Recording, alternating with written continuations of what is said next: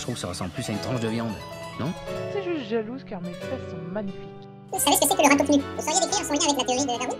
Et je suis un crime contre la nation, et je suis raciste, et je suis nazi. Moi je suis complètement idiot, moi je suis complètement ridicule.